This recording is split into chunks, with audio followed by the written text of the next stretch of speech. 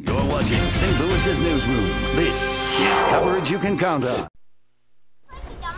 Well, if you didn't get much snow at your house last night, check out this place. This family in Wildwood has some 14 inches of snow in their hmm. front yard. Now, no, it didn't really snow there, just at their one location. The family has their own snow machine and created the Winter Wonderland for their three young kids. Making snow angels, they can go sledding. They have to be the That hit is in the so neighborhood. neat. Every kid in the neighborhood wants to go to that house. You know that. That's Mom, we don't have to go to school. There's snow in their yard. Right. Can you imagine waking up not knowing they had a snow machine, driving down the street going, what happened? Why them? There's all that snow. Yeah.